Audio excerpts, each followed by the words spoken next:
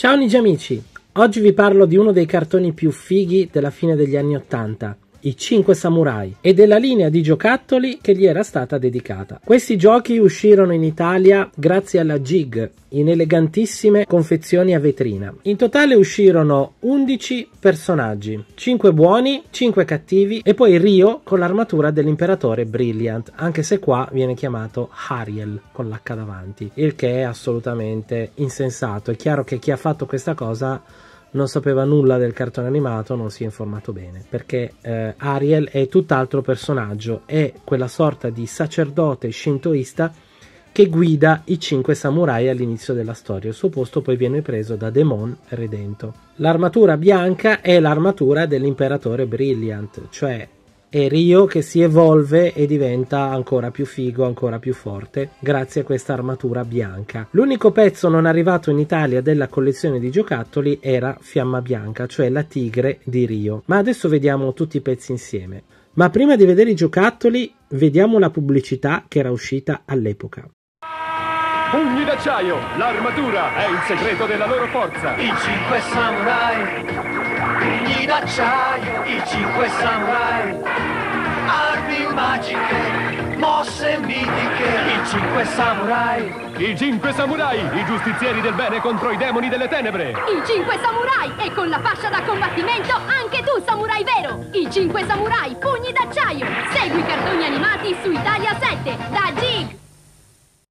Allora, cominciamo con Rio, che è il leader degli eroici samurai. Rio ha l'armatura del fuoco e la sua virtù è la giustizia. Qui infatti viene scritto il capo giustiziere alleato del fuoco. Allora, vedete che questi giocattoli avevano queste bellissime confezioni a vetrina che potevamo aprire. Sul lato destro c'era una bella immagine dell'armatura con la descrizione del personaggio dei suoi poteri delle sue abilità e a sinistra c'era la vetrina con il giocattolo. Tutti i pezzi dell'armatura erano smontati ed esposti. Inoltre all'interno c'era in regalo questa fascetta samurai, come avete visto nella pubblicità che vi ho mostrato. Qui abbiamo in dettaglio la confezione all'interno, vedete che c'erano dei cataloghi, c'erano delle armi aggiuntive, le, chiaramente le due spade, le due katana di Rio.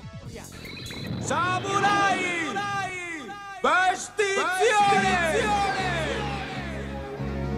Giustizia! Giustizia!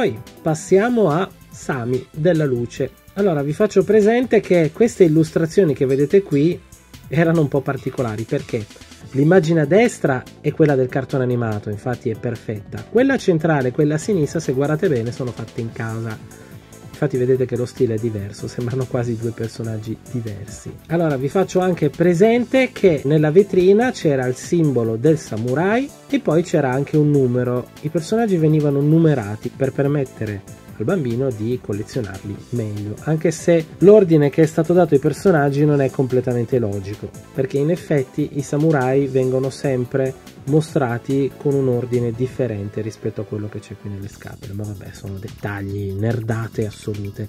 Io adoro questa serie animata e quindi la conosco bene. Quando i samurai si trasformavano era sempre in un ordine specifico dunque Sami tra l'altro era il personaggio che mi piaceva di più era veramente figo aveva questa katana enorme questo spadone un po' particolare, il suo potere era la luce, quindi era molto figo. Poi lui era molto furbo, molto astuto. Io ho sempre apprezzato i personaggi così. Era un po' il crystal della situazione, se volete. Infatti la sua virtù è la sensibilità. Poi passiamo all'amico Simo. Questo era sinceramente il samurai che mi piaceva di meno. Mi sembrava che i suoi commenti fossero spesso fuori luogo e che non fosse particolarmente forte, pericoloso, minaccioso o intelligente. Non lo so Scusate, magari qualcuno di voi si offende, ma veramente non mi è mai piaciuto più di tanto, per quanto l'armatura era piuttosto bella, con questo bel tridentone. Poi vabbè, l'azzurro è il mio colore preferito, quindi alla fine mi piacevano un po' tutti, eh? non posso dire che non mi piacessero. Tra l'altro Simo è il primo samurai che Rio riesce a trovare, il primo con cui si riunisce. Ecco, c'è da dire che um, questi giocattoli a mio parere avevano un difetto strutturale, e cioè la testa era veramente troppo troppo piccola. Ora capisco che ci doveva stare l'elmo sopra questa testolina, però dai, guardateli, sono estremamente brutti a vederli così, nel senso sono giocattoli fighi, però il personaggino con sto testino qui ridicolo è un po' bruttino, eh. Diciamoci pure le cose come stanno, dai. Potevano magari fare una testa intercambiabile, così da avere l'elmo o la testa a seconda di come volevamo fare oppure non lo so trovare un sistema per farli un po' meglio. Comunque vabbè per il resto i giocattoli sono estremamente belli. La virtù di Simo era la fiducia. E ora vediamo Shido che era veramente un personaggio fighissimo perché lui era rude nel cartone animato era quello che si scaldava più velocemente di tutti e devo dire che la sua armatura forse era la più strepitosa perché aveva questo look molto aggressivo, originale, mi piacevano tutte queste corna, queste punte e poi Nunchaku a tre sezioni era veramente figo e la sua mossa era la più spettacolare di tutte, cacchio, ma veramente bella. Ecco, Shido come virtù aveva la determinazione. Ecco, carina anche quest'idea della mm, fascia da mettere in testa, un accessorio per il bambino che si poteva immedesimare un po' nei samurai e fare il guerriero. Queste erano cose davvero carine, devo dire che chi ha avuto quest'idea è stato molto molto bravo. Quando ero piccolo mi ricordo ed uscirono alcuni personaggi dei Master con l'anello di Grayskull, ero molto eccitato da questa cosa perché era bello poter indossare qualcosa e sentirsi parte della storia, della linea di giocattoli, delle avventure dei nostri eroi, era molto molto bello. Portarci con l'inganno a combattere l'uno contro l'altro è stata una mossa infame, degna di voi demoni.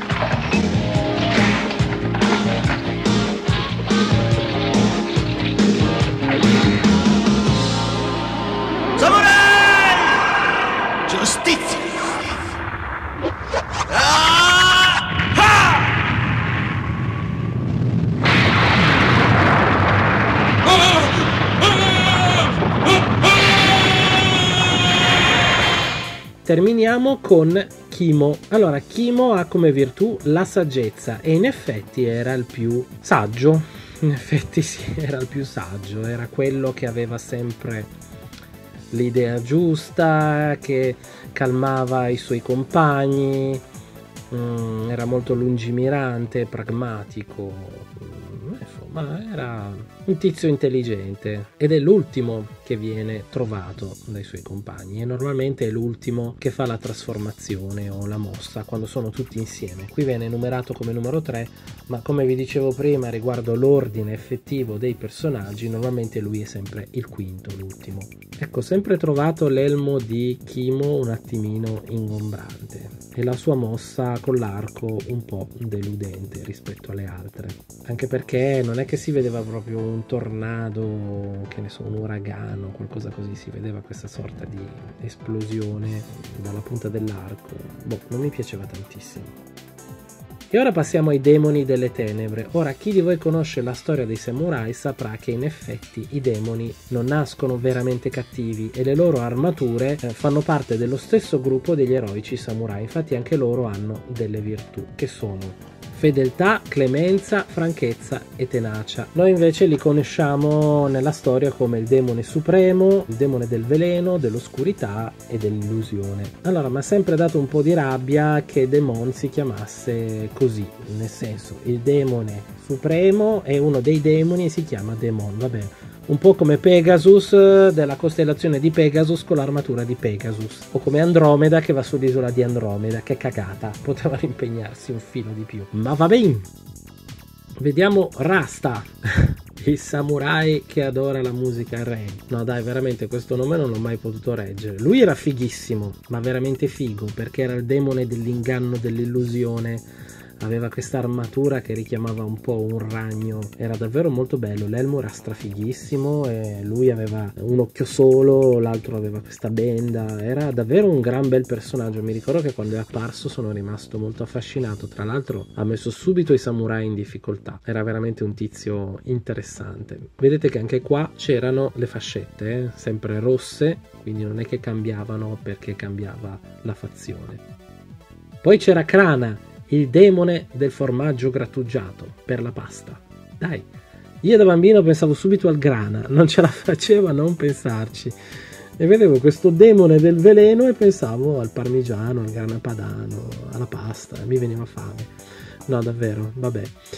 Lui era bello perché mh, mm, aveva queste mosse tutte collegate al veleno, a colpo con le sue spade sembrava una specie di serpente, insomma era il fidanzatino perfetto per Tisifone. L'armatura era bella e lui aveva una miriade di spade. Mi piaceva anche il suo sguardo assatanato che se guardate bene le immagini hanno riprodotto anche nei giocattoli. Pazzesco. E infine c'era Kratos, il demone dell'oscurità, che è sempre quello che mi è piaciuto mm, di meno tra i cattivi. Lo trovavo un po', un po' inutile, anche se poi i suoi poteri erano abbastanza forti. Anche lui aveva uno spadone e poi aveva anche questo bell'artigliazzo. E tra l'altro, se non dico una cazzata, era l'unico che aveva il mantello. Ma se la menava un po' più degli altri. Comunque, vabbè, alla fine erano tutti piuttosto belli. Anche se Forse i suoi colori erano un po' spenti rispetto a quelli degli altri. Demon, ti farò sapere le mie intenzioni quando avrò deciso. Ora va. Sì, signore. Rio il fuoco ha abbandonato il vulcano dove speravo rimanesse per l'eternità. Dobbiamo eliminare gli altri quattro samurai. Questo sarà il vostro compito. Qui abbiamo Aragorn. Aragorn era il capo dei cattivi. Era il Mumra, lo Skeletor, il Megatron della situazione. Era uno spirito malvagio, cattivissimo, senza volto, aveva questa maschera da demone, era il signore dell'oscurità. Qui eh, hanno fatto un disegno senza elmo ma in effetti non ricordo episodi del cartone animato in cui si veda il suo volto celato dietro la maschera o una qualsiasi cosa che somigli a un volto. Lui è sempre sempre mascherato perché è una specie di creatura dell'ombra, una specie di, di, di fantasma, però vabbè capisco che nei giocattoli una testa gliela dovevano mettere, quindi si sono inventati questa cosa. Ecco, Aragon, vedete, aveva una fascetta nera, quindi diversa da quella degli altri, perché era veramente cattivo. Inoltre aveva l'anello dei magici poteri. Vedete, c'era un anello in omaggio, come dicevo prima per i Masters. Ecco, devo dire che l'armatura di Aragon è veramente spettacolare. Poi come vi accennavo prima, questa qui è l'armatura dell'imperatore Brilliant, quindi è l'evoluzione eh, di Rio, cioè Rio acquisisce questa armatura bianca con la quale diventa ancora più forte e praticamente pressoché invincibile. Non so perché abbiano messo il nome Ariel, Ariel nel cartone animato come vi ho detto è un sacerdote che aiuta i nostri eroi, è una sorta di guida, non c'è veramente una, una spiegazione, non riesco a capire capire perché abbiano fatto questo pastrocchio. Vabbè, l'armatura vedete è abbastanza simile a quella del fuoco, anche se ci sono piccole differenze. Anche qua c'è un anello in omaggio, diverso da quell'altro. Ecco, infine abbiamo Fiamma Bianca, che si trasforma solo quando appare l'armatura dell'imperatore Brilliant. Da tigre bianca diventa una tigre nera con l'armatura e trasporta le due spade invincibili dell'armatura bianca. Questa tigre in Italia non è arrivata, è uscita solo ed esclusivamente in Giappone, infatti vedete che la confezione è differente. E con questo ho terminato, spero che questa recensione vi sia piaciuta. Ringrazio ancora una volta Marco Olivotto che ci ha concesso le foto della sua bella collezione di giocattoli dedicati ai 5 samurai. Tutti i giocattoli che avete visto sono della sua collezione. Buon, vi saluto ragazzi, alla prossima, ciao!